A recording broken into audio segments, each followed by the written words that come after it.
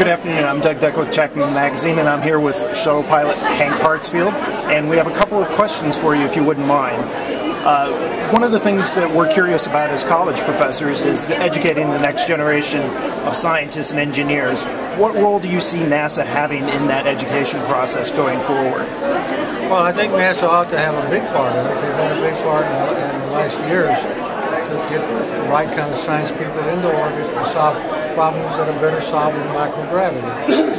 And, uh, I'm worried now where we are as a nation. It seems like we're, we're in a pause that I don't like. You know, I, I would like to see NASA take a bigger part in it. I think they can, but it means a change in the way our nation is moving as far as financing the government. Thank you very much for that. Uh, as somebody who's flown on more than, did you have a favorite shuttle? Did you have a favorite orbiter?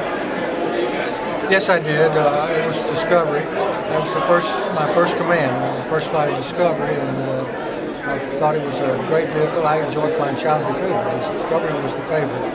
And I was hoping to see it fly again today, but it didn't. So we all were. Thank you very much for your time, sir. Quite welcome.